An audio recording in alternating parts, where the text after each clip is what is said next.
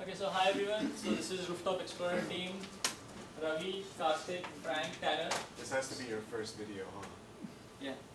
'Cause- Ah, Never mind. orientation. yeah, No, orientation. but the Keep game actually Oh. uses it that way.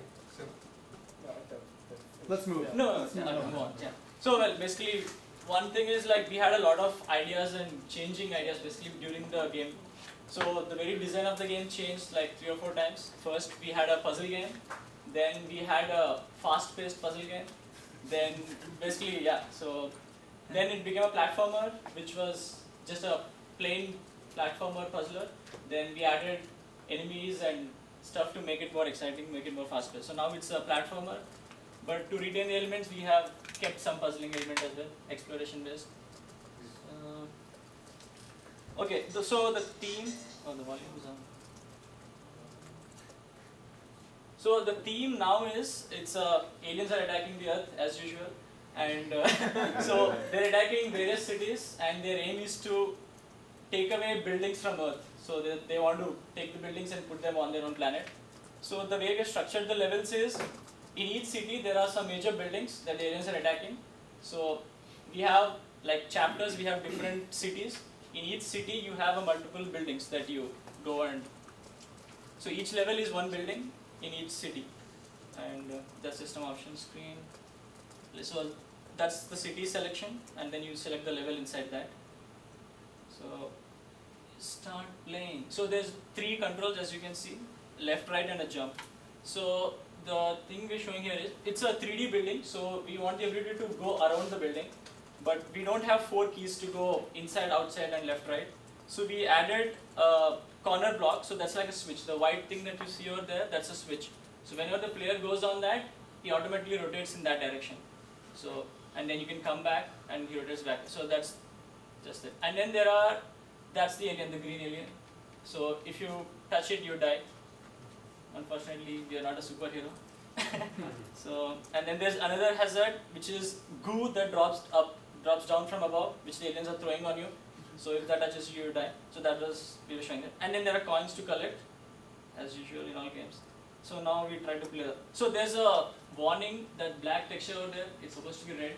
Anyway, that's a warning that shows that the goo is about to fall on you. So we, I'm kind of waiting for it to fall. And the aliens are sentries that they keep walking around. So these are basically the challenges and the goal is to reach the top and destroy the aliens. So here you would normally go to the right and keep going but you see there's a coin hidden below. So you kind of go down and get it. This is kind of an easy hidden coin. There are more which you have to explore around. That's the puzzling part. So in one go, you cannot just spiral around the building and just collect all the coins. So there are we've hidden them well. So and there you see our power up on the the blue thing. So if you take it, it kind of gives you a shield that even if you touch the other guys, you don't die. That's the power. And uh, the shield. Oh, sorry. so so the, the shields are usually placed in locations that uh, are not easy to reach and are challenging, and they are guarded by sentries and whatnot. So that's the risk reward factor for us. So either you try to clear the level without the shield, or you go for it, but you have to face off three or four aliens and stuff. So actually the most now. I have to switch the video. Okay. There's mouse. Oh, okay. So yeah, I keep going. Basically, we died like five, six times here, unfortunately. so I'll just switch to the next video where I use the power up.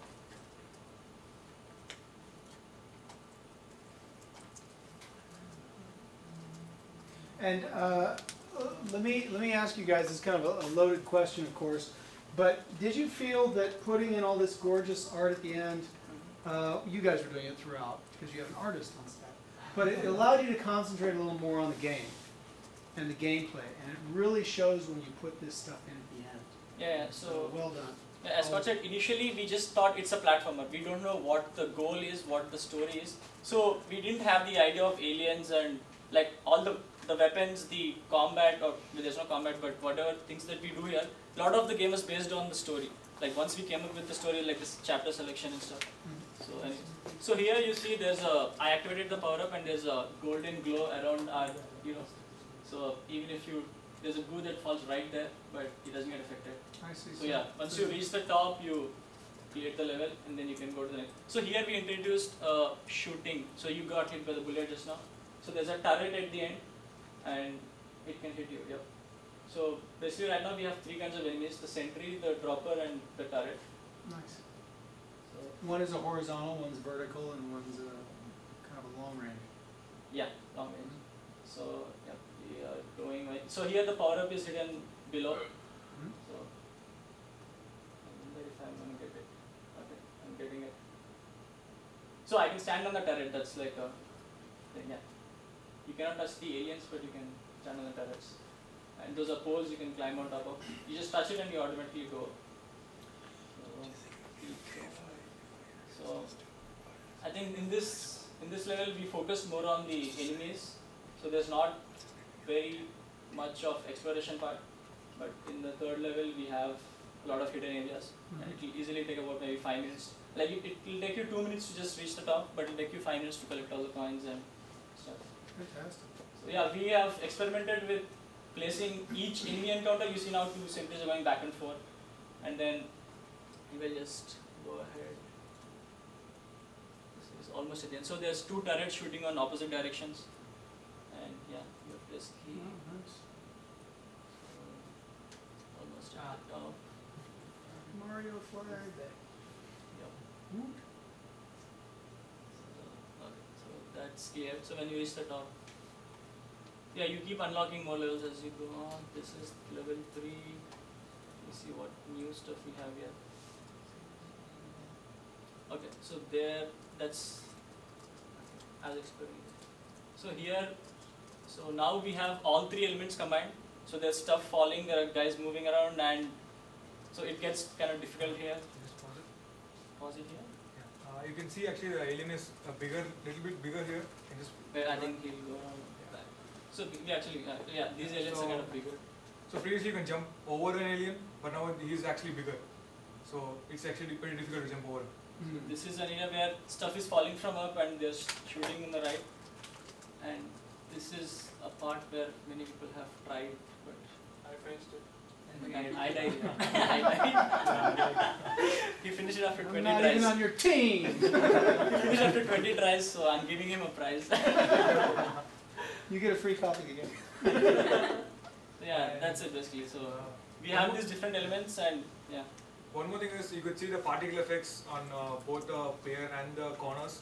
So the particle effects we decided to put in later because people are finding it difficult to you know like exactly say the point and turn the camera. So we find it we found that it's much easier for them to you know like uh, visually uh, tell them that okay Yes. this is where you have to Yeah, the corners are glowing, so if you So see there's that, actually particles coming out of the uh, corner. so that's, that's kind of telling them go touch it, something will happen. Wonderful. That we. do. Any questions for the team? Fantastic work, guys.